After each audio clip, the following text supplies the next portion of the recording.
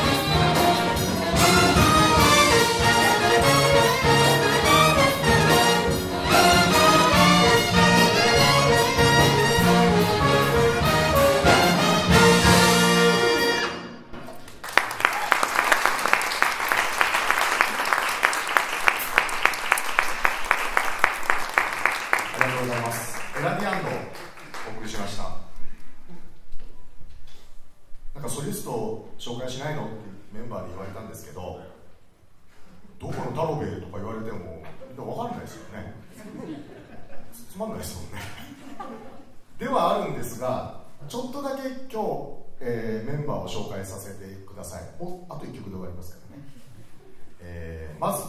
まずアルトサックス。川上裕樹あの我々社会人バンドっていろいろ欠員がよく出ましてですね仕事の都合とか。今日はあのよくトラトラ我々トラっていうのがエキストラですね。あのお手伝いで来ていただいたので紹介しました。アルトサックス川上裕樹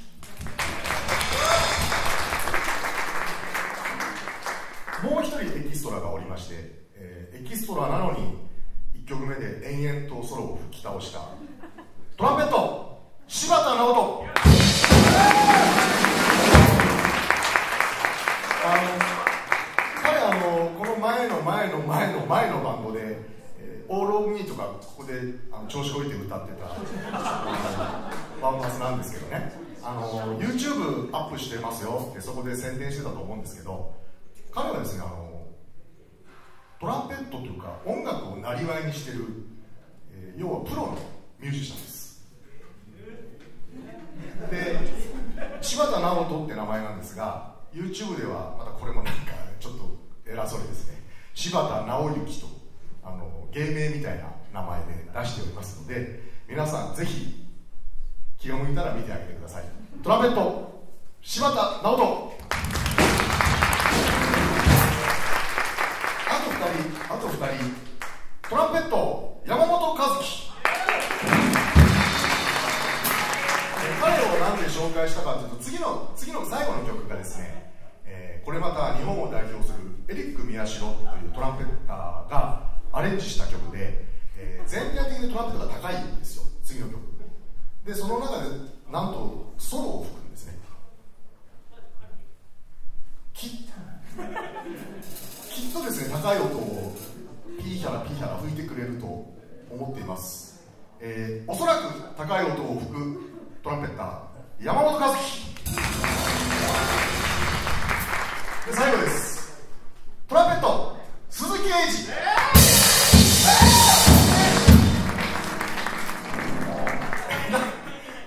を最後に紹介したかというと、えー、今言ったように次の曲はトランペットが高いんですよ。で彼はトランペットセクションのリードトランペットといって、えー、アンサンブルの中で一番高い音を担当しているトランペットです。で彼はちゃんと吹きます。彼はちゃんと高い音吹きます。なので比較するために紹介しました。はいちゃんと高い音を吹く。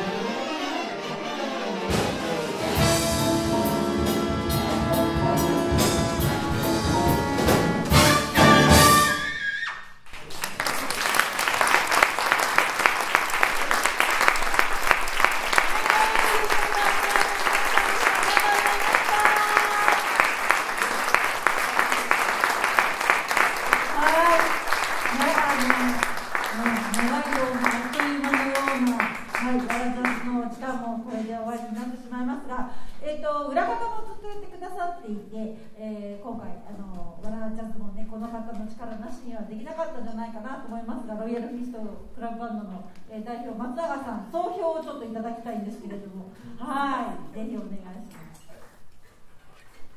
すいません、僭越ではございますが、ご指名でありますので。えー、総評総評といいますかですねあの僕たち社会人ミュージシャンっていうのは当然ですけど普段は仕事してるんですね。でほとんど今日出たバンドメンバーのほとんどのメンバーが、ま音楽とは無縁の仕事をしていると思います。中にはま音楽関係の方もいるんですけどで僕はまあ大体会社では中年の冴えないおじさんです。ただですねこのわらわらび市民音楽祭一晩の30分時間をいただいて、まあ、その十何倍も裏でですね練習はしてはいるんですがこの30分間だけはちょっとだけ自分たちが輝けるそしていい思いができると思ってですね練習に励んで、えー、癖それが癖になってみんなみんなバンド同じだと思います。そうやって頑張ってきてる。ただですね、えー、こ当然こういう蕨市びし音楽祭とか開催するのは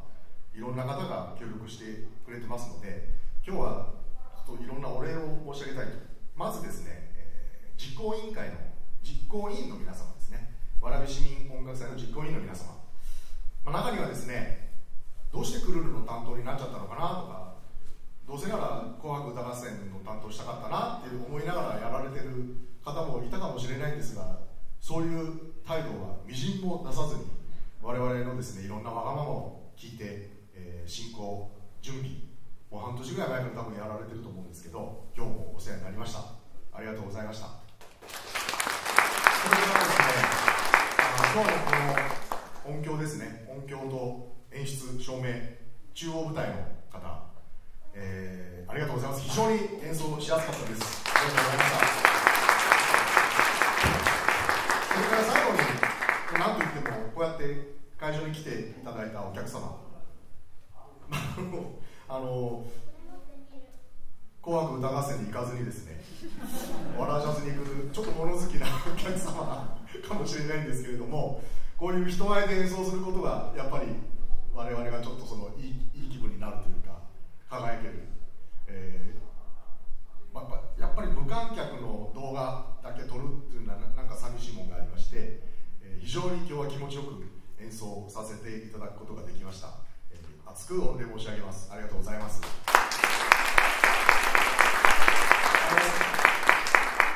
今日僕は僕なりに思いつきましたのでこんなこんなチャラい眼鏡は外してですね明日からはまた中年のダサいおじさんに戻りますけれども、えー、地道に練習を重ねてまたこのこの場でですねぜひいい思いをちょっとだけ輝かせていただいていい思いをさせていただきたいと思いますのでぜひ来年もわらジャズを開催していただいて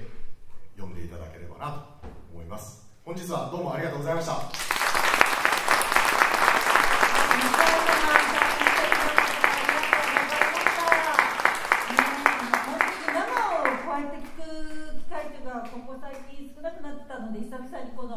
バンドのあの生の音を聞いた私もすごく感動というかやっぱり生っていいなって思いました。来年もわらジャズの企画やった方がよろしいですか？はいもうぜひ来年もですねわらジャズの方を企画させていただいて実行委員の方も頑張ってね進めていきたいと思います。それではもうこれで本当に名残惜しいですが終わりにしたいと思います。あの観客に来てくださった皆様本当にありがとうございました。また来年お会いしましょう。